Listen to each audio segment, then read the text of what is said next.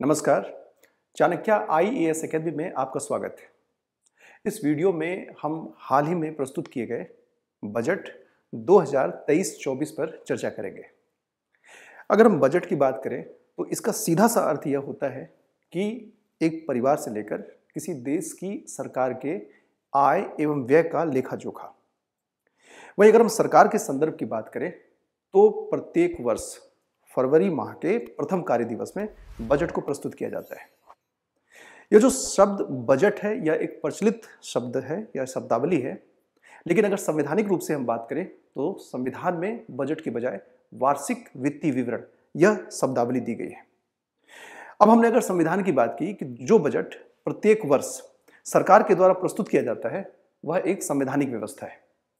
और संविधान के अनुच्छेद 112 के अंतर्गत केंद्र सरकार और 202 के अंतर्गत राज्य सरकार प्रत्येक वर्ष बजट पेश करती है। तो यहाँ जो हम चर्चा करने वाले वह संघ सरकार के द्वारा जो बजट प्रस्तुत किया गया है, बजट 2023-24 उस पर हम चर्चा करते हैं।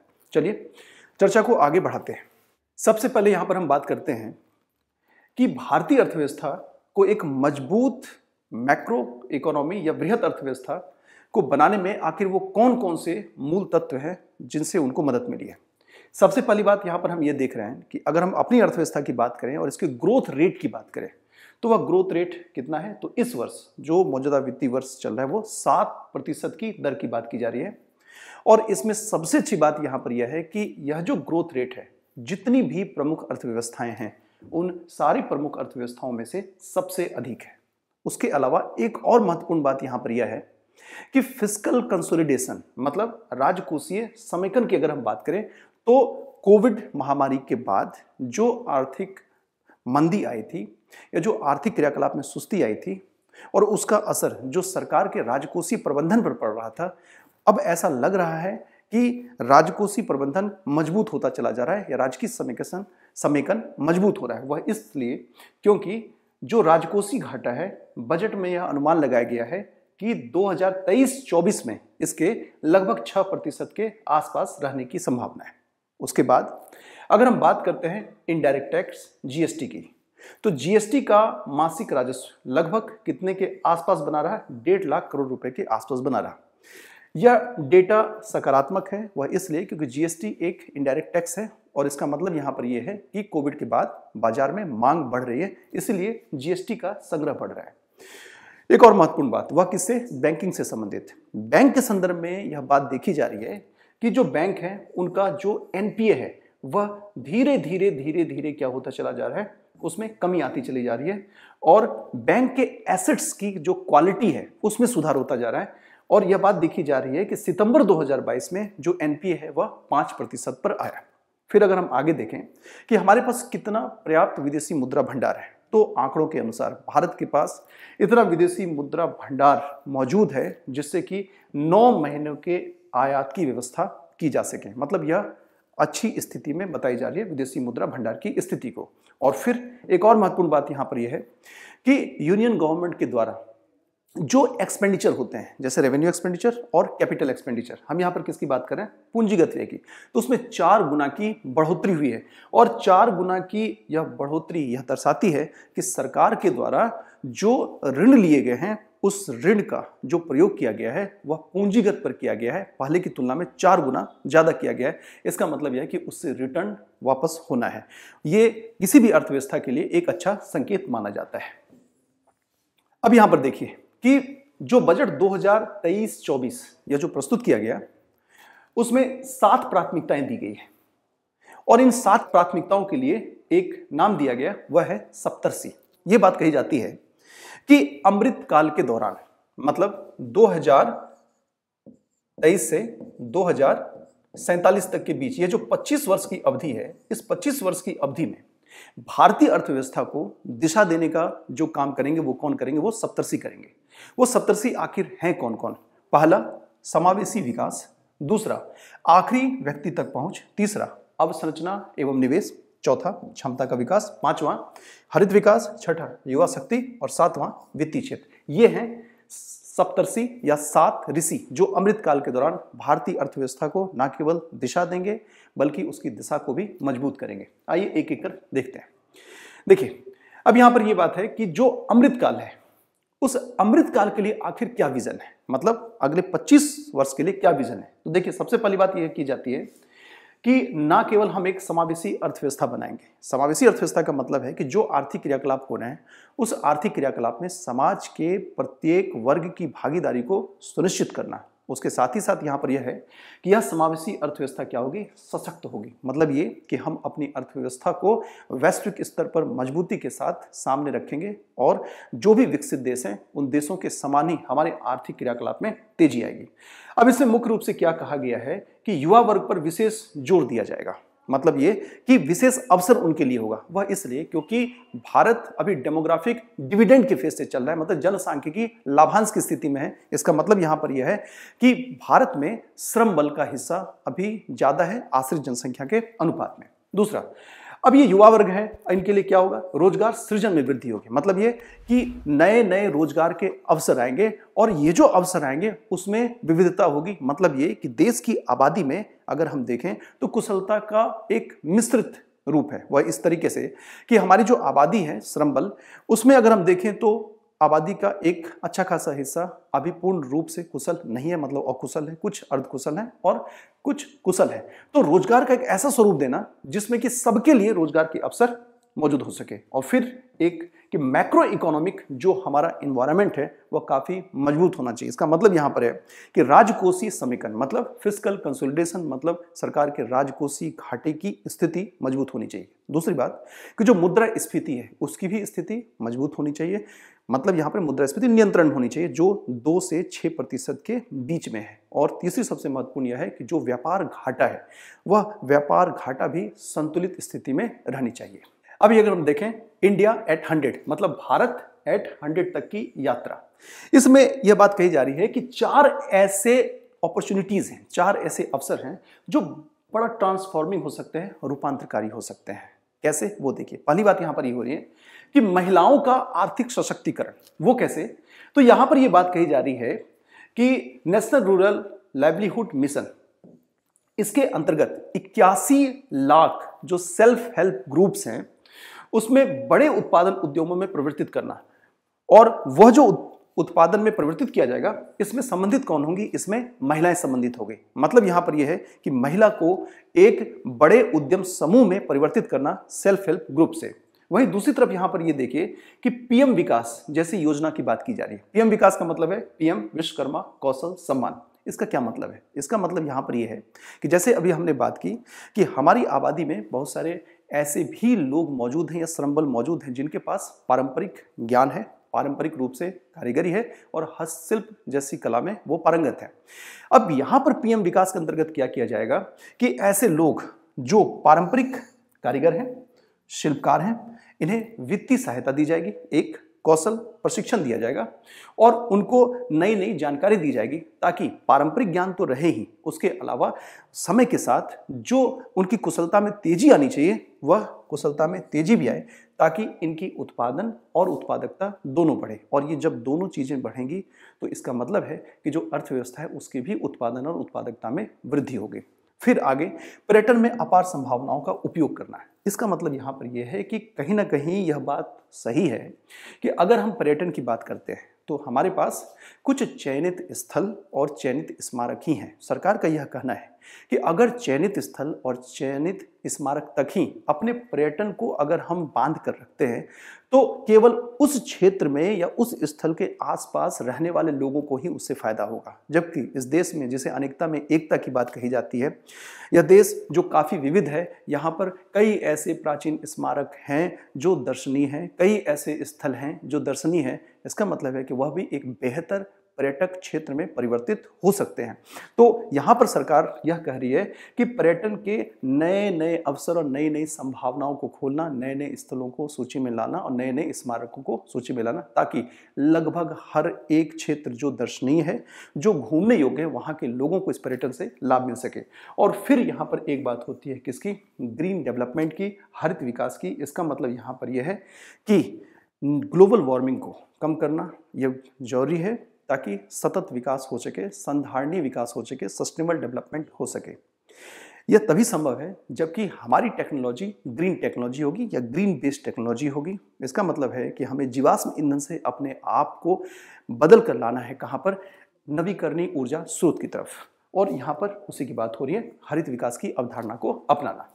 अब हम बात करते हैं किसकी? कि आखिरी व्यक्ति तक पहुँच बनाना, कोई पीछे ना छोटे। इसका मतलब है कि समाज के जो अंतिम व्यक्ति है, वहाँ तक हमारी सारी सुविधाओं को पहुंचाना और उन व्यक्ति को उसमें शामिल भी करना, दोनों चीज़ें करनी होगी। मतलब यह केवल यह नहीं है कि आपने सुविधा वहाँ तक पहुँचा दी, बल्कि यह भी ज़रूरी है कि उन सुविधाओं का उपभोग वह व्यक्ति करे। अगर इसमें हम देखें तो यहाँ पर यह बात कही जा रही है कि प्रधानमंत्री अति संवेदनशील, अनुसूचित जनजातीय समूह इनसे संबंधित एक विकास मिशन की शुरुआत की जाएगी। हालाँकि इसकी शुरुआत पहले भी हुई है। अगर हम जनजातीय मंत्रालय की बात करें, जो वाजपेयी सरकार थे, उसमें जनजातीय मंत्रालय का गठन किया गया था, उसका भी उद्देश्य यही था कि आखिरी व्यक्ति को समाज में जो चल रही गतिविधि है, आर्थिक क्रियाकलाप है, उसमें उसको शामिल करना और इसको और व्यापक रूप दिया जा रहा है किसके अंतर्गत? प्रधानमंत्री पीवीटीजी विकास मिशन के अंतर्गत।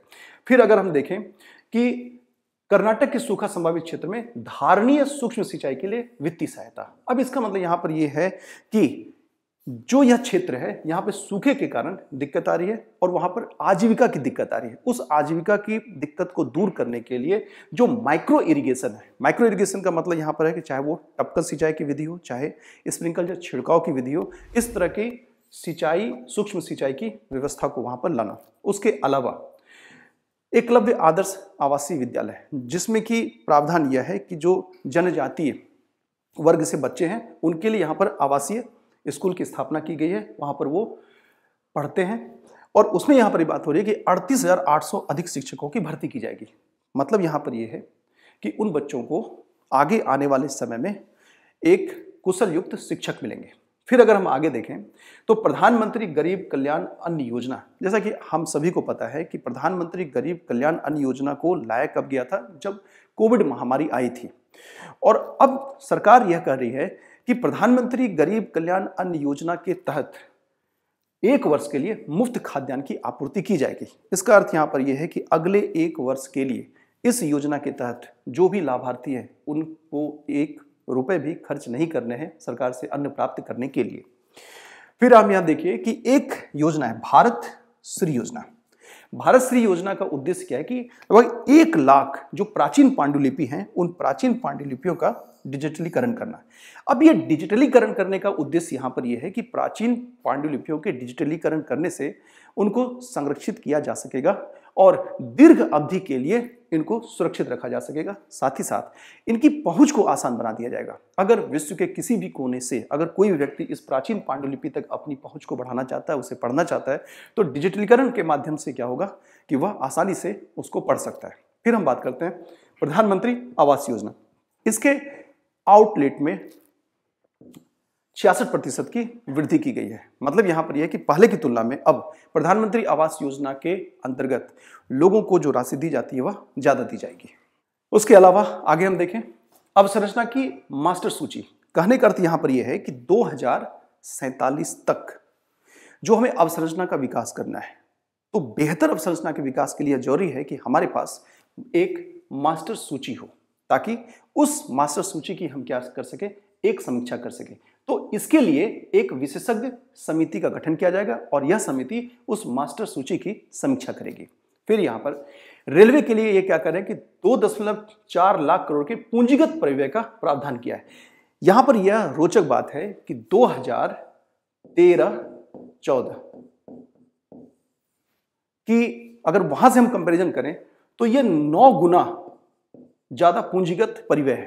पूंजीगत परिव्यय का मतलब यहाँ पर यह है कि जो रेलवे है, इसमें ना केवल नई नई रेलवे लाइनें बनेगी, बल्कि रेलवे का आधुनिकीकरण किया जाएगा, उसका विद्युतीकरण किया जाएगा, रेल के डब्बे जो बनाए जा रहे हैं, उसके लिए नई फैक्ट्रियों की स्थापना की जाएगी। तो यह रेलवे के दृष्टिकोण से काफ़ी महत्वपूर्ण है। उसके अलावा सौ महत्वपूर्ण अवसंरचना परियोजनाओं की भी पहचान की गई है। साथ ही साथ, जो पहले से मौजूद हमारे पास हवाई अड्डे हैं हेलीपोर्टर्स हैं वाटर एरोड्रम है एडवांस लैंडिंग ग्राउंड है, उनका पुनरुद्धार किया जाएगा। इसकी संख्या 50 से ज़्यादा है। और फिर एक बात यह देखी गई है कि तटीय क्षेत्रों में जो नौवहन सेवा दी जाती है, उसकी क्षमता काफ़ी ज़्यादा है, दोनों मामलों में। दोनों मामलों का मतलब यहाँ पर यह है कि ना केवल व्यक्ति को एक स्थान से दूसरे स्थान पर ले जाने में, बल्कि अगर हम वस्तु को भी ढोने की बात करें तो उस मामले में भी उसकी क्षमता काफ़ी ज़्यादा है और उसी क्षमता के दोहन करने के लिए तटीय नौवहन को सरकारी और निजी, इन दोनों भागीदारी के ज़रिए उसको बढ़ाया जाएगा। अब हम बात कर रहे हैं अवसंरचना और उत्पादन क्षमता में निवेश के संदर्भ में। इसका अगर हम देखें कि इसका उद्देश्य क्या है, उद्देश्य है विकास और रोज़गार के अवसरों में वृद्धि। देखिए इसमें क्या बात की गई है कि सरकार के द्वारा अगर हम कैपिटल इन्वेस्टमेंट से संबंधित एक्सपेंडिचर की बात करें तो उसमें तैतीस दशमलव चार प्रतिशत उसमें वृद्धि की गई है। मतलब ये बात कही जा रही है कि पिछले अगर चार साल की बात करें तो इसमें तीन गुना वृद्धि हुई है, क्योंकि 2019-20 में यह 11 प्रतिशत था। और हम यहाँ पर क्या देख रहे हैं कि यह 33 प्रतिशत के आसपास है। तो कैपिटल इन्वेस्टमेंट, जैसा कि मैंने पहले ही आपको बात की, कि यह क्या करता है कि जब भी आप कैपिटल इन्वेस्टमेंट करते हैं, कैपिटल एक्सपेंडिचर करते हैं, पूंजीगत व्यय करते हैं तो इससे ना केवल पूंजी का सृजन होता है, बल्कि साथ ही साथ रोज़गार के नए अवसरों का भी सृजन होता है। उसके अलावा यहाँ पर यह बात कही जा रही है कि इंफ्रास्ट्रक्चर में जो निजी निवेश होती है और निजी निवेश किए जाते हैं, उससे जुड़े हुए जो लोग होते हैं, उनको सूचनाएँ चाहिए होती है कि हम इन्वेस्टमेंट करें या ना करें, उसमें सहायता देने के साथ साथ अन्य सहायता को उपलब्ध कराने के लिए इंफ्रास्ट्रक्चर फाइनेंस सेक्रेटेरिएट की बात की जा रही है। फिर RIDF rural infrastructure development fund. इसका गठन किया गया है ग्रामीण जो क्षेत्र है, वहाँ पर अवसंरचना के विकास के लिए। ठीक उसी तर्ज पर यहाँ हम क्या देख रहे हैं? यू आई डी एफ़ मतलब अर्बन इंफ्रास्ट्रक्चर डेवलपमेंट फंड। इसकी स्थापना के द्वारा क्या किया जाएगा? श्रेणी दो और श्रेणी तीन के जो शहर हैं, उसमें शहरी अवसंरचना का सृजन किया जाएगा। मतलब यहाँ पर यह है कि जो शहर है, वो शहर की संरचना ऐसी होनी चाहिए जो धारणीय हो, जो सस्टेनेबल हो। मतलब ये कि जो शहर है, वो ना केवल वर्तमान में जो लोग रह रहे हैं, उनकी आवश्यकताओं की पूर्ति करें। उनकी आवश्यकताओं का मतलब उनके पेयजल की पूर्ति करें, उनके रहने के आवास की पूर्ति करें, उनके लिए जो ट्रैफ़िक है उनकी पूर्ति करें। बल्कि उसके साथ ही साथ क्या होगा कि आगे आने वाले समय जब उस शहर में आबादी बढ़ेगी तो उस आबादी की भी जो ज़रूरतें होंगी, उसके लिए भी यहाँ पर अवसंरचना का विकास UIDF के ज़रिए किया जाएगा। और एक महत्वपूर्ण बात यहाँ पर यह है कि राज्य सरकार को 50 वर्षों के लिए ब्याज मुक्त ऋण देने को जारी रखा जाएगा। मतलब केंद्र सरकार का यह कहना है कि 50 वर्ष के लिए स्टेट गवर्नमेंट को केंद्र सरकार जो ऋण देगी, वह जो ऋण है, वह ब्याज मुक्त ऋण होगी। अब हम बात करते हैं कि सक्षमता को कैसे हम बात करेंगे, एफिशिएंसी या कैपेसिटी को कैसे बढ़ाएँगे। अगर हम इसकी बात करें तो यह जनरली किससे संबंधित है? यह संबंधित है सुशासन से मतलब गवर्नेंस से। अब यहाँ पर देखिए ये कि बेहतर गवर्नेंस के लिए क्या क्या काम किया गया है। तो पहली बात तो ये कि व्यापारिक सुगमता को बढ़ावा देने के लिए जो कंप्लायंस होते हैं, वो जो उनचालीस हज़ार जो अनुपालन करना ही करना है, उस उनचालीस हज़ार से ज़्यादा अनुपालनों को कम किया गया। मतलब यहाँ पर यह है कि जो व्यापार करने वाले जो वर्ग होते हैं, उनके लिए जो अब कंप्लायंस करने की सीमा है, वो काफ़ी घट गई। नियम कानून को जो फॉलो करने की बात होती है, वो काफ़ी घट गई है। इससे कानून की जटिलता जो है, वो काफ़ी कम हुई है। साथ ही साथ चौंतीस सौ से अधिक विधिक उपबंधों को अपराध की श्रेणी से हटाया गया है। ये जो काम किया गया है वो कंपनी एक्ट 2013 के अंतर्गत किया गया है। उसके अलावा 42 केंद्रीय अधिनियमों में संशोधन के लिए जन विश्वास विधेयक पेश किया गया। ये दोनों चीज़ें किससे जुड़ी है? गवर्नेंस से जुड़ी। उसका और बेहतर गवर्नेंस के लिए क्या किया जा रहा है कि जो 5G आधारित एप्लीकेशन है, उसको विकसित करने के लिए उत्कृष्ट संस्थाओं में सौ प्रयोगशालाएँ स्थापित की जाएगी। साथ ही साथ आर्टिफिशियल इंटेलिजेंस के क्षेत्र में अनुसंधान को बढ़ावा देने के लिए, नवाचार को बढ़ावा देने के लिए जो हमारे देश के शीर्ष शैक्षणिक संस्थान हैं, उनमें तीन उत्कृष्टता केंद्र स्थापित किए जाएँगे। उसके अलावा राष्ट्रीय डेटा नीति को लाने की बात कही जा रही है। राष्ट्रीय डेटा नीति के संदर्भ में यह बात कही जा रही है कि जो स्टार्टअप से जुड़े हुए लोग हैं, साथ ही साथ जो एजुकेशनिस्ट हैं, उनमें नवाचार और रिसर्च को बढ़ावा देने के लिए यह राष्ट्रीय डेटा नीति लाई जा रही है। ताकि वह हमारे देश में ऐसे कई लोग हैं जो रिसर्च अच्छा करते हैं, जिनमें नवाचार की प्रवृत्ति होती है, लेकिन क्या होता है कि वो अज्ञात में चले जाते हैं, उनसे संबंधित डेटा सरकार के पास नहीं आ पाता है। राष्ट्रीय डेटा नीति इस क्षेत्र में उत्कृष्ट कार्य करेगा, इस उद्देश्य के साथ इसको सरकार के द्वारा लाए जाना है।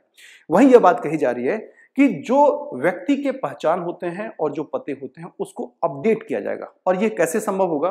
तो जो डिजी लॉकर है और आधार, इसके द्वारा पहचान और पते को अपडेट करने की बात की गई है और किसके माध्यम से? वन स्टॉप समाधान के माध्यम से।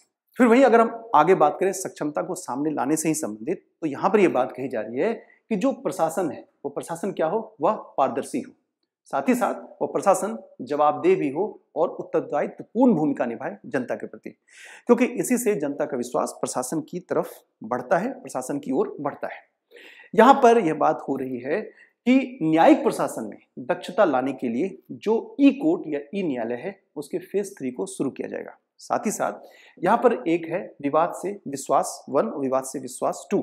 अगर हम इसको संपूर्ण रूप में देखें तो यहाँ पर बात ये हो रही है कि माइक्रो स्मॉल मीडियम इंटरप्राइजेस की, ने जो बीडिंग की थी, जो उन्होंने बोली लगाई थी कोविड के समय में, और मान लें कि उन्होंने जो बीडिंग लगाई, उन्होंने राशि दी, लेकिन कोविड के दौरान उनके उद्योग धंधों पर असर पड़ा, उनके लाभ पर असर पड़ा तो यहाँ पर बात ये हो रही है कि सरकार और सरकारी उपक्रम के द्वारा उनके पंचानवे प्रतिशत राशि को क्या कर दिया जाएगा? वापस कर दिया जाएगा। मतलब माइक्रो स्मॉल मीडियम इंटरप्राइजेस के द्वारा।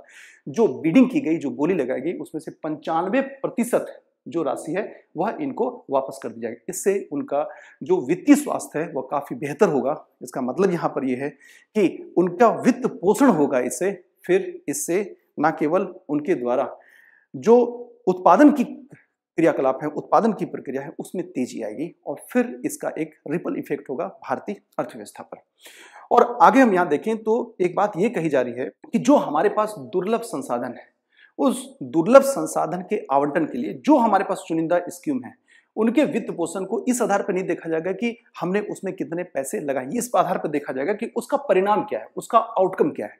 मतलब यहाँ पर यह बात कही जा रही है कि कुछ चुनिंदा स्कीमों के आउटकम्स पर यहाँ पर ज़्यादा ज़ोर दिया जाएगा। एक और भी बात कही जा रही है कि माइक्रो स्मॉल मीडियम इंटरप्राइजेस दूसरा, कि जो बड़े व्यवसायी हैं, वो और जो ट्रस्ट है, इनके जितने भी रिकॉर्ड्स वगैरह होते हैं, उन सारे रिकॉर्ड्स को ऑनलाइन स्टोर करने और फिर उसको साझा करने के लिए एक निकाय डिजी लॉकर को स्थापित किया जाएगा। इसका फ़ायदा यहाँ पर यह है कि जब माइक्रो स्मॉल मीडियम इंटरप्राइजेस और जो बड़े व्यवसाय से जुड़े हुए जो कंपनियाँ हैं और साथ ही साथ जो ट्रस्ट है, उनके जब रिकॉर्ड एक स्थान पर रहेंगे तो चाहे वो वित्तीय संस्थान हो, चाहे वो प्राधिकरण हो, चाहे वो नियामक संस्थाएँ हो तो उनके लिए इनके रिकॉर्ड को देखने में काफ़ी आसानी होगी। अब हम बात करते हैं कृषि और सहकारिता के संबंध में। कृषि के संदर्भ में जो यहाँ पर समावेशी विकास की जो अवधारणा रखी गई, उसमें यह बात कही गई है, कृषि क्षेत्र को वित्त वर्ष 2022 में एक सौ छियासी लाख करोड़ रुपए का आवंटन किया गया। साथ ही साथ यहाँ पर यह बात हो रही है कि ग्रामीण क्षेत्र में नवाचार को बढ़ावा देने के लिए और स्टार्टअप को प्रोत्साहन देने के लिए एक कृषि वर्धक निधि की स्थापना की जाएगी। इस कृषि वर्धक निधि की स्थापना का उद्देश्य यह है कि ग्रामीण युवा जो स्टार्टअप करना चाहते हैं या जो इनोवेशन करना चाहते हैं एग्रीटेक सेक्टर में उनके लिए जो वित्त की व्यवस्था है, वो वित्त की व्यवस्था की जाएगी इस कृषि वर्धक निधि से। उसके अलावा बागवानी फ़सलों की गुणवत्ता को सुधारने के लिए आत्मनिर्भर बागवानी स्वच्छ पौध कार्यक्रम को भी लाने की बात हो रही है। साथ ही साथ पशुपालन, डेयरी और मत्स्य क्षेत्र के लिए 20 लाख करोड़ रुपए के ऋण का लक्ष्य रखा है।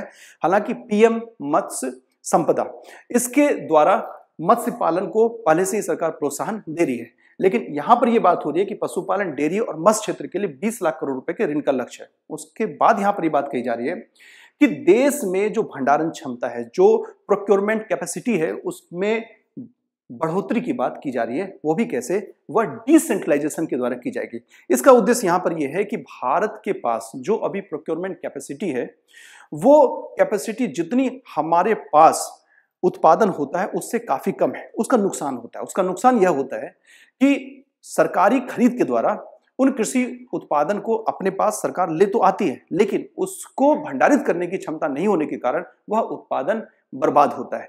इसलिए इस अतिरिक्त भंडारण क्षमता के निर्माण करने का सरकार का उद्देश्य है कि न केवल भंडारण क्षमता में वृद्धि करना, बल्कि भंडारण क्षमता का विकेंद्रीकरण भी करना, ताकि अलग अलग क्षेत्र के जो किसान हैं, उनकी भंडारण गृह के प्रति जो उनकी पहुँच है, वह पहले की तुलना में आसान हो जाए और नज़दीक हो जाए। ताकि उनकी लागत जो उत्पादन की है वह कम हो जाए, क्योंकि परिवहन की लागत घट जाएगी।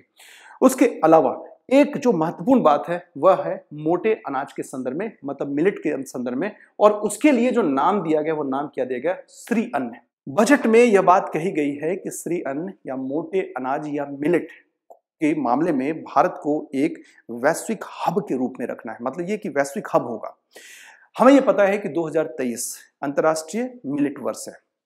और सरकार का उद्देश्य यहाँ पर यह है कि बाजरा, ज्वार, रागी, कुट्टू, इन फ़सलों के उत्पादन के मामले में भारत की क्षमता और ज़्यादा बढ़े। क्योंकि हमें यह पता है कि अगर हम मिलेट्स की बात करें तो वैश्विक स्तर पर हम सबसे बड़े उत्पादक हैं और दूसरे सबसे बड़े निर्यातक हैं। इसका मतलब हमारी क्षमता इसके मामले में काफ़ी अच्छी है। अगर हम बात करते हैं स्वास्थ्य के संदर्भ में, जो समावेशी विकास के ही अंतर्गत आता है तो वित्त वर्ष 2023 में मतलब मौजूदा वित्तीय वर्ष में जीडीपी का दो दशमलव एक प्रतिशत स्वास्थ्य के क्षेत्र में खर्च किया गया है।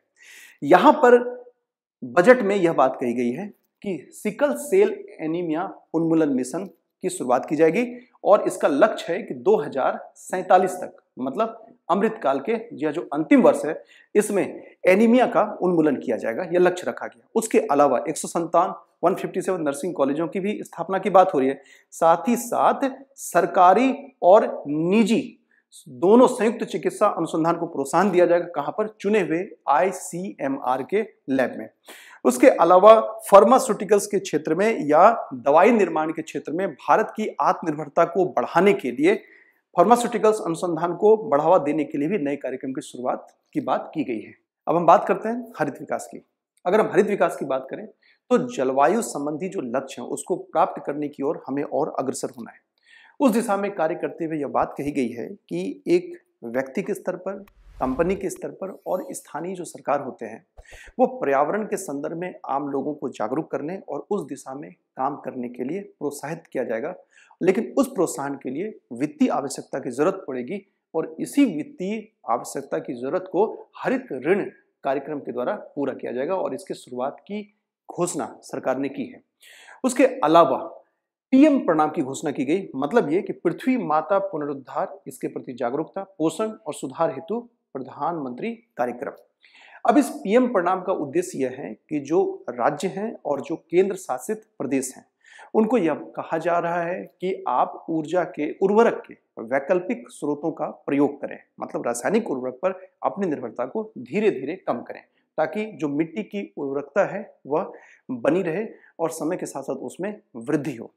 साथ ही साथ गोवर्धन योजना के तहत 500 नए अवशिष्ट से आमदनी संयंत्रों को स्थापित किया जाएगा। इसका उद्देश्य यहाँ पर यह है कि जो अवशिष्ट पदार्थ होते हैं, उस अवशिष्ट पदार्थ का भी उपयोग एक चक्रीय अर्थव्यवस्था के अंतर्गत किया जाना चाहिए और वह भी एक आमदनी का स्रोत होना चाहिए। साथ ही साथ मिस्टी मिस्टी का मतलब यहाँ पर यह है कि तटीय पर्यावास और ठोस आमदनी के लिए मैंग्रोव पहल। तो इस मिस्टी के तहत तटीय रेखा पर मैंग्रोव पौधारोपण की शुरुआत की घोषणा इस बजट में की गई है। अब हमें यह पता है कि देश में पचहत्तर रामसर साइट हैं। तो उसे देखते हुए यहाँ पर यह बात कही गई है कि जो हमारे पास आर्द्र भूमि है, उस वेटलैंड या आर्द्र भूमि के ऑप्टिमम यूटिलाइजेशन को बढ़ावा देने के लिए अगले तीन वर्षों में अमृत धरोहर को लागू किया जाएगा। अब इस स्लाइड में हम क्या देख रहे हैं? युवा शक्ति की बात हो जा रही है। मतलब यह भी सप्त ऋषि में से एक ऋषि है। इस युवा शक्ति के अंतर्गत यह बात कही जा रही है कि जो अमृत पीढ़ी है इस अमृत पीढ़ी का सशक्तिकरण किया जाएगा। मतलब इस अमृत काल के दौरान जो युवा शक्ति है, वह एक अमृत पीढ़ी है और इसे क्या किया जाए? उसे इंपावर्ड किया जाए, उसे सशक्त किया जाए। इसके लिए प्रधानमंत्री कौशल विकास योजना चार ज़ीरो को चलाने की बात कही गई है। अब इसका मतलब यहाँ पर यह है कि अब जो कुशलता दी जाएगी, वह नए समय के साथ दी जाएगी। कैसे? तो देखिए ऑन जॉब प्रशिक्षण नंबर एक, जो जॉब में बने हुए हैं, उनको बदलते तकनीक का ज्ञान देना, साथ ही साथ नए युग के पाठ्यक्रम जैसे coding artificial intelligence robotics mechatronics three printing drone आदि जैसे विषय का भी प्रशिक्षण अब प्रधानमंत्री कौशल विकास योजना 4.0 के अंतर्गत दिया जाएगा। साथ ही साथ एक प्लेटफॉर्म के बनाने की बात की गई जिसका नाम है स्किल इंडिया डिजिटल प्लेटफॉर्म इसका उद्देश्य यहाँ पर यह है कि जो श्रम बाज़ार है, उस श्रम बाज़ार में जिस कुशलता युक्त श्रमिक की ज़रूरत है मतलब ये कि श्रम बाज़ार में जो मांग है श्रमिकों की, जिस कुशलता के साथ उसी आधार पर युवाओं को कुशलता प्रदान करना और साथ ही साथ उनको उस प्लेटफॉर्म पर लेकर आना। और फिर इस प्लेटफॉर्म से जो भी इंडस्ट्रियलिस्ट हैं माइक्रो स्मॉल, मीडियम इंटरप्राइजेस हैं, उनको भी जोड़ना है। ताकि फ़ायदा यहाँ पर यह होगा कि माइक्रो स्मॉल, मीडियम इंटरप्राइजेस सहित जो अन्य व्यवसायी हैं, जो अन्य उद्यम हैं, उन्हें आसानी से कुशल व्यक्ति मिल जाएँगे या कुशल श्रमिक मिल जाएगा। यह उद्देश्य स्किल इंडिया डिजिटल प्लेटफॉर्म का। फिर अगर हम आगे देखें तो तीन साल में सैंतालीस लाख युवाओं को स्टेपेंड दिया जाएगा मतलब इनको प्रशिक्षण भी दिया जाएगा और प्रशिक्षण के दौरान इनकी वित्तीय मदद भी की जाएगी। उसके अलावा, जैसा कि हमने देखा था, पर्यटन को बढ़ावा क्या किया गया इसमें कि 50 चुने हुए पर्यटन स्थलों को घरेलू और विदेशी पर्यटकों के लिए संपूर्ण पैकेज के रूप में विकसित किया जाएगा। जैसा कि हम पहले ही देख चुके हैं, इसका फ़ायदा यहाँ पर यह होगा कि इन 50 चुने हुए पर्यटन स्थलों के आसपास के जो युवा हैं, उन्हें नए नए रोज़गार के अवसर मिलेंगे। साथ ही साथ, हर एक राज्य की जो राजधानी है, वहाँ पर यूनिटी मॉल की स्थापना की बात की गई है। उस मॉल में कौन से उत्पाद बेचे जाएँगे? तो वहाँ पर वन डिस्ट्रिक्ट वन प्रोडक्ट के अंतर्गत जो उत्पाद बन रहे हैं, वह उत्पाद यहाँ बेचा जाएगा। साथ ही साथ, हर एक राज्य के से संबंधित जो जी आई टैग प्रोडक्ट है, वह भी बेचा जाएगा और अन्य हस्तशिल्प उत्पादों की बिक्री को बढ़ावा दिया जाएगा, किसके अंतर्गत? यूनिटी मॉल के अंतर्गत। अब हम बात करते हैं वित्तीय क्षेत्र की। वित्तीय क्षेत्र के अंतर्गत सरकार ने जो जो प्रस्ताव दिया है इस बजट में, बजट 2023-24 में, अगर उस पर हम देखें तो एक यहाँ पर बात हो रही है कि राष्ट्रीय वित्तीय सूचना रजिस्ट्री की स्थापना। सरकार का यह कहना है कि हम एक ऐसे राष्ट्रीय वित्तीय सूचना रजिस्ट्री की स्थापना करेंगे जिसका उद्देश्य यह होगा कि जो ऋण है, वह ऋण सही व्यक्ति तक पहुँचे।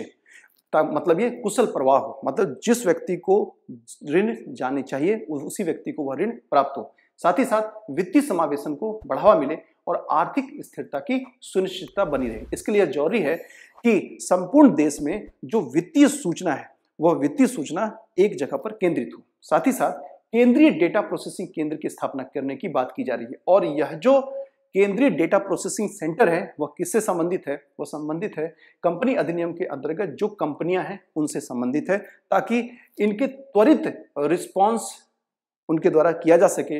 इससे उनकी जो अपनी एडमिनिस्ट्रेटिव वर्किंग स्टाइल है, प्रशासनिक कार्य प्रणाली है, उसमें सुधार हो।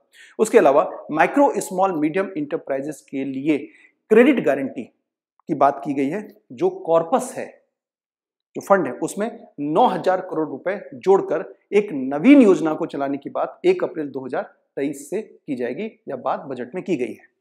फिर हम देखें महिला सम्मान बचत पत्र। ये एक कालिक योजना है। इसके अंतर्गत प्रस्ताव यह है कि महिलाओं के लिए दो साल की अवधि वाली एक योजना चलाई जाएगी यह एक लघु बचत खाता योजना है, जिसमें कि दो लाख रुपए जमा करने की सुविधा होगी। यह खाता महिला या तो खुद अपने नाम पर या अपनी बच्ची के नाम पर खोल सकते हैं, और इसमें आंशिक आहरण मतलब यह है कि इस दो साल की अवधि में अगर वो राशि निकालना चाहती है तो एक राशि मतलब एक निश्चित राशि निकाल सकती है, उससे ज़्यादा नहीं निकाल सकती है। और इस पर साढ़े सात प्रतिशत ब्याज या रिटर्न देने की बात कही गई है। वही अगर हम सीनियर सिटीजन की बात करें तो उनके लिए जो सेविंग स्कीम्स है, उसमें अधिकतम जमा सीमा जो पहले पंद्रह लाख रुपए थी, उसको बढ़ाकर कितना कर दिया गया? तीस लाख रुपए कर दिया गया। और अगर हम बात करें यहाँ पर आई एफ़ एस सी की मतलब इंटरनेशनल फाइनेंशियल सर्विस सेंटर्स की बात करें तो इसमें ज़्यादा से ज़्यादा व्यावसायिक गतिविधि बढ़े। इसके लिए भी सरकार ने मौजूदा जो बजट है, उसमें प्रस्ताव रखा है। अब हम बात करते हैं राजकोषीय प्रबंधन की फ़िज़िकल मैनेजमेंट की। इसके अंतर्गत देखें जैसा कि हमने पहले क्या देखा कि राज्यों को 50 साल के लिए ब्याज मुक्त ऋण देने की बात की गई है। यहाँ हमें यह बात ध्यान रखनी होगी कि यह जो योजना है उसे एक साल के लिए बढ़ाया गया। मतलब यहाँ पर यह है कि अगले साल तक के लिए ही जो राज्य हैं, वह केंद्र से 50 साल के लिए ऋण ले सकेंगे, जिस पर कि किसी प्रकार का कोई ब्याज नहीं देना पड़ेगा। लेकिन उसमें एक शर्त है। शर्त यहाँ पर यह है कि केंद्र सरकार जब यह ऋण देगी तो फिर यह ज़रूर सही है कि ज़्यादातर ऋण की जो राशि है, उसको खर्च करने में राज्य अपने विवेक का इस्तेमाल करेगा। लेकिन उसका एक छोटा हिस्सा केंद्र सरकार के द्वारा जो शर्तें रखी गई है, उस पर खर्च करना पड़ेगा। और ये शर्तें ऐसी है जैसे कि अभी हमने यहाँ पर क्या देखा? यूनिटी मॉल तो यूनिटी मॉल की स्थापना पर इस ऋण का एक भाग खर्च करना पड़ेगा। उसके अलावा जो शहर है, उस शहर का अगर संधारणीय जो विकास करना है, उस पर भी उसको खर्च करना पड़ेगा। जो पुलिस है, पुलिस के भवन निर्माण वगैरह, उस पर भी उसको खर्च करना पड़ेगा। इसके सहित और भी उसकी सूची है। साथ ही साथ यहाँ पर यह बात कही गई है कि जो राज्य हैं, आखिर उनका राजकोषीय घाटा कितना होना चाहिए? तो केंद्र सरकार ने यह बात कही है कि हर राज्य की जो अपनी जीडीपी है, जिसे यहाँ पर कहा गया है ग्रॉस स्टेट डोमेस्टिक प्रोडक्ट तो इसका कितना? इसका तीन दशमलव पाँच परसेंट। ये राजकोषीय घाटा हो सकता है किसका? स्टेट का। लेकिन इसमें भी एक शर्त है। शर्त यहाँ पर यह है कि इस साढ़े तीन प्रतिशत का पॉइंट फाइव, ये करना पड़ेगा खर्च वित्तीय क्षेत्र में सुधार पर। स्टेट गवर्नमेंट को। और 2022-23 में केंद्र सरकार के अगर राजकोषीय घाटे की बात करें तो उसके अनुमान में संशोधन किया गया है और यह संशोधन कितना है? छह दशमलव चार प्रतिशत। ठीक? कि उसके आगे वित्तीय वर्ष मतलब 2023-24 बजट के लिए अनुमान कितना रखा गया है? पाँच दशमलव नौ प्रतिशत। यह एक बजटीय अनुमान है। और फिर 2025-26 तक इसको साढ़े चार प्रतिशत से कम करने का लक्ष्य है। यह यह दर्शाता है कि राजकोषीय समीकरण को प्राप्त करने की दिशा में भारत सरकार आगे बढ़ रही है। अगर हम बात करें व्यक्तिगत आयकर की तो इस व्यक्तिगत आयकर के यहाँ पर हम क्या देख रहे हैं कि नए व्यक्तिगत आयकर की कर प्रणाली में यहाँ पर बदलाव किया गया है। कैसे? तो जो कर स्लैब की सीमा थी, उसको घटाकर क्या कर दिया गया? पाँच कर दिया गया है। और जो कर छूट सीमा है, उसको भी बढ़ाकर कितना कर दिया? तीन लाख रुपए किया गया है। जैसे आप साफ़ स्क्रीन पर देख रहे हैं, वह यह है कि अगर तीन लाख रुपए तक की किसी की वार्षिक आय है तो उस पर शून्य की दर है। अगर तीन से छह लाख है तो उस पर जो कर की दर है, वह पाँच प्रतिशत है। छह से नौ लाख पे जो कर की दर है, वह दस प्रतिशत है। इसी तरह नौ से बारह पर पंद्रह प्रतिशत, बारह से पंद्रह पर बीस प्रतिशत और पंद्रह से ऊपर तीस प्रतिशत है। एक चीज़ हमें यहाँ पर याद रखने की कि उच्च अधिभार दर मतलब यहाँ पर सरचार्ज की बात हो रही है, जो पहले सैंतीस प्रतिशत था, थर्टी सेवन परसेंट था, वो घटकर कितने पर आ गया है? पच्चीस प्रतिशत पर आ गया है। अब ये जो नई व्यवस्था है, इस नई व्यवस्था से अर्थशास्त्रियों का यह मानना है कि पहले की तुलना में जो आयकर दाता है, उनके पास बचत की संभावना ज़्यादा हो जाती है और अगर यह बचत होती है तो यह बचत में से बाज़ार में एक मांग पैदा होती है, ऐसा अर्थशास्त्रियों का कहना है। अगर अप्रत्यक्ष कर प्रस्ताव की बात करें और अगर हम उसे संपूर्ण रूप में देखें तो कस्टम ड्यूटी की अगर हम बात करते हैं, सीमा शुल्क की बात करते हैं तो यहाँ पर लगभग यह देखा जा रहा है कि रॉ मटेरियल यानी कि कच्चे माल, उस पर कस्टम ड्यूटी को घटाया गया है। इसका मतलब यहाँ पर यह है कि हमारे यहाँ के जो घरेलू उद्योग हैं, उनको पहले की तुलना में जो कच्चे माल है, वह कम दर पर प्राप्त होंगे, उस पर उनकी लागत कम आएगी या आर्थिक क्रियाकलाप में तेज़ी लाने के लिए काफ़ी लाभदायक हो सकता है और यह होता भी है। अब हम बात करते हैं कर प्राप्तियों में रुझान से। जैसा कि आप यहाँ पर देख रहे हैं स्क्रीन पर तो सकल कर राजस्व। सकल कर राजस्व का मतलब यहाँ पर यह है कि हम डायरेक्ट टैक्स की बात कर रहे हैं और इनडायरेक्ट टैक्स की बात कर रहे हैं। उसमें अगर हम यहाँ पर देखें 2021-22 में ग्यारह दशमलव चार और 2022-23 में जो संशोधित अनुमान लगाए गए, उसमें कितना दिख रहा है? ग्यारह दशमलव एक और तेईस चौबीस में अगर हम देखें तो यह भी कितना पर है? ग्यारह दशमलव एक है। एक बात हमें याद रखनी पड़ेगी, जो यह ग्राफ दिखा रहा सकल कर राजस्व का, उसमें अगर आप ये देख रहे हैं कि 2022-23 में भी ग्यारह दशमलव एक, और आगे जो वित्तीय वर्ष है, उसमें भी ग्यारह दशमलव एक। तो इसका मतलब क्या हम माने कि क्या आर्थिक क्रियाकलाप में सुधार नहीं हो रहा है? बेशक सुधार हो रहा है। हमें यह बात याद रखनी है कि प्रतिशत के मामले में यह भले ही हमें समान दिख रहा हो, लेकिन जब यह संख्यात्मक मान होगा तो संख्यात्मक मान ज़्यादा होगा। वह इसलिए क्योंकि 2022-23 की तुलना में 2023-24 में जीडीपी वो ज़्यादा प्राप्त होगी। इसीलिए यह प्रतिशत के रूप में भले ही हमें समान दिख रहा है, लेकिन संख्यात्मक रूप में यह हमें ज़्यादा दिखेगा। उसके अलावा अगर हम प्रत्यक्ष कर और अप्रत्यक्ष कर की बात करें तो उसमें भी हमें क्या दिखने को मिल रहा है कि 2022-23 में प्रत्यक्ष कर छह दशमलव और पाँच दशमलव एक प्रतिशत है जीडीपी का। और अप्रत्यक्ष कर के मामले यहाँ पर क्या दिख रहा है कि छह दशमलव और पाँच दशमलव एक प्रतिशत है। इसीलिए चूँकि ये दोनों एक ही हैं, इसीलिए यहाँ हमें ग्यारह दशमलव एक प्रतिशत और ग्यारह दशमलव एक प्रतिशत है। तो भले ही प्रतिशत के रूप में यह हमें समान दिख रहे हैं, लेकिन संख्यात्मक रूप में यह हमेशा ज़्यादा होगा। इसका मतलब यह है कि हमारी जो अर्थव्यवस्था है, वो ऑलरेडी रिकवर्ड हो चुकी है और हम बात कर रहे हैं अब उससे आगे की, जैसा कि आर्थिक सर्वेक्षण में कहा गया है। अब हम गाते हैं घाटे की प्रवृत्तियों की बात करते हैं डेफिसिट की बात कर रहे हैं। अब यहाँ पर देखिए ये जितने भी है वह जीडीपी के प्रतिशत के रूप में है। जरा राजकोषी घाटे की देखें आप, क्योंकि बार बार क्या बात हो रही है? राजकोषी समीकरण की बात हो रही है। तो यहाँ पर अगर हम देखते हैं 2021-22 छह दशमलव चार, हम 2022-23 के संशोधित अनुमान की बात कर रहे हैं। वह कितना है? छह दशमलव चार और 2023-24 में कितने की बात हो रही है? पाँच दशमलव। इसका मतलब यह है कि जो घाटे की प्रवृत्ति वो क्या हो रही है? वह घट रही है। इसका मतलब राजकोषीय समीकरण की स्थिति की तरफ़ हम बढ़ रहे हैं। साथ ही साथ यही प्रवृत्ति हमें किसमें दिख रही है? रेवेन्यू डिफिसिट में भी दिख रही है, जो चार दशमलव एक से दो दशमलव नौ प्रतिशत पर जा रहा है। वही प्राथमिक घाटे में हम क्या देख रहे हैं? कि 2022-23 में जो संशोधित अनुमान है, वह कितने का है? वह तीन प्रतिशत है जीडीपी का, जबकि 2023-24 में जो अनुमान है, वह कितने पर है? वह दो दशमलव तीन प्रतिशत पर है। साथ ही साथ, अगर हम प्रभावी राजस्व घाटे की बात करें इफ़ेक्टिव रेवेन्यू डिफिसिट की बात करें तो 2022-23 में यह दो दशमलव नौ संशोधित अनुमान है, जबकि बजट अनुमान दो हज़ार कितना हुआ? एक प्रतिशत। अब हम बात करते हैं कि केंद्रीय राजस्व और व्यय की। मतलब ये कि रुपया अगर आता है, अगर एक रुपया आता है तो उसमें किसका कितना अंश होता है? और अगर रुपया, एक रुपया खर्च होता है तो फिर उसमें कितना किसका अंश होता है? तो सामने स्क्रीन पर हम साफ़ रूप से देख रहे हैं कि जो रुपया आ रहा है, उसमें सबसे ज़्यादा भागीदारी किसकी है? उधार और अन्य देताओं की। वह कितना है? चौंतीस पैसे। वही अगर हम आगे बढ़ते हो तो फिर हम क्या देख रहे हैं? जीएसटी और अन्य कर से कितना है? सत्रह पैसे। फिर निगम कर और आयकर, इससे बराबर आ रहा है। मतलब ये दोनों डायरेक्ट टैक्स के घटक है, इसमें बराबर आ रहे हैं दोनों चीज़ें। और फिर उसके बाद केंद्रीय उत्पाद और फिर कर भिन्न प्राप्तियाँ, फिर सीमा शुल्क और फिर ऋण भिन्न पूंजी प्राप्तियाँ। वही अगर रुपए की हम जाने की बात करें तो फिर कहाँ सबसे ज़्यादा खर्च होता है? तो हम यहाँ पर क्या देख रहे हैं कि जो ब्याज अदायगी है, उस पर ज़्यादा खर्च हो रहा है। वह कितना है? वह बीस पैसे है। उसके बाद करों और शुल्कों में राज्यों का हिस्सा, जो राज्यों को दिया जाता है, वह अठारह पैसे है। फिर केंद्रीय क्षेत्र की जो योजना है, उस पर सत्रह पैसे और उसके अलावा फिर हम देखते हैं केंद्रीय प्रायोजित योजनाएँ नौ पैसे और वित्त आयोग और अन्य अंतरण, नौ पैसे। ये दोनों क्या देख रहे हैं हम? ये बराबर है। फिर खर्च हो रहा है डिफेंस पर, आठ पैसे और अन्य व्यय, आठ पैसे। ये दोनों बराबर है। उसके बाद आर्थिक सहायता, सात पैसे और अंतिम में पेंशन चार पैसे। ये है कि अगर एक रुपया आ रहा है तो उसमें किसकी, किसका कितना है? और अगर खर्च जितने हो रहे उसको एक रुपये में देखें तो किसमें कितना ज़्यादा खर्च हो रहा है? ये दोनों हमें देख रहे हैं, केंद्रीय राजस्व और व्यय से संबंधित इन आंकड़ों के द्वारा। अब जाते जाते हम यहाँ पर यह देख रहे हैं कि 2014 से लेकर अब तक क्या उपलब्धियाँ रही हैं? जरा इस पर गौर से देखते हैं। जो डेटा दिया गया है, उसके अनुसार पिछले नौ साल में एक सबसे बड़ी उपलब्धि हमारी यह रही है कि भारत जो दुनिया की दसवीं सबसे बड़ी अर्थव्यवस्था थी, अब वह पांचवी सबसे बड़ी अर्थव्यवस्था बन गई है। जबकि पीपीपी के मामले में हम परचेसिंग पावर पैरिटी के मामले में हम तीसरी सबसे बड़ी अर्थव्यवस्था है।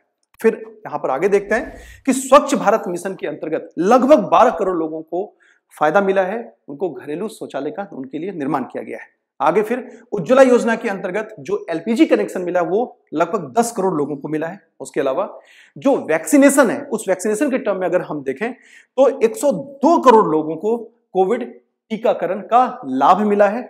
और फिर पीएम जनधन योजना के अंतर्गत सैतालीस दशमलव आठ मतलब अड़तालीस करोड़ लोगों के बैंक के खाते खुले हैं और पीएम सुरक्षा बीमा और पीएम जीवन ज्योति योजना जैसे जो सामाजिक सुरक्षा है, उसका फ़ायदा लगभग सैतालीस करोड़ व्यक्तियों को मिला है।